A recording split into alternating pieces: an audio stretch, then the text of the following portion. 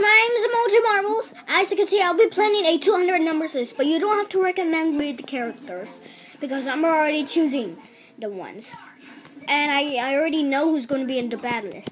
So that's all I have to say for now. And I'll do start my 200 numbers list when when all my 100 numbers list is uploaded my YouTube channel. So bye.